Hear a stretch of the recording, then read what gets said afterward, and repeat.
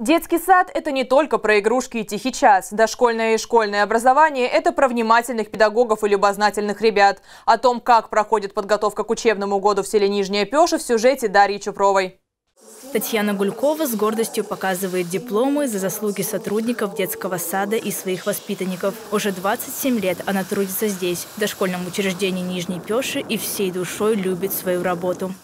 У нас э, работает очень творческий, сплоченный коллектив. Мы украшаем наше здание и территорию детского сада со своими руками.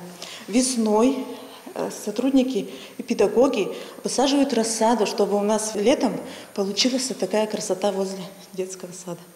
Не забывают в детском саду и о внутреннем убранстве. Здесь создали небольшой музей. Тут и старинный радиоприемник, и самовар с баранками, и печка с глиняной посудой. Наглядный кусочек истории для ребят, возникший благодаря идейным педагогам.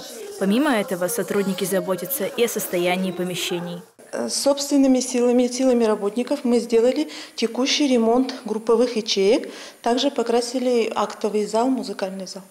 На данный момент все ремонтные работы завершены. 1 сентября в детском саду ждут 53 ребенка. Это четыре группы разного возраста. В средней школе имени Алексея Калинина также к подготовке помещений отнеслись серьезно. Был проведен небольшой косметический ремонт, покрашены рекреации и лестничные марши.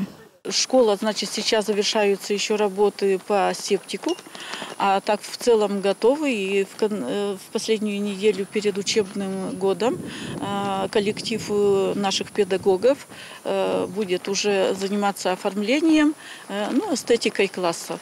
Как сообщила директор сельской школы Марина Голубина, всего в школе 90 учеников. В первый класс пойдут 6 человек, все мальчики. Откроют и 10 класс. В нем будет обучаться 3 человека. Педагогический коллектив укомплектован. Помогать постигать науки будут 17 учителей. В этом году приедет новый преподаватель английского языка.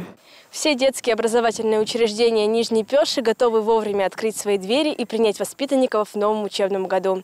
Дарья Чуфрова, Владислав Носкин, телеканал «Север» из Нижней Пеши.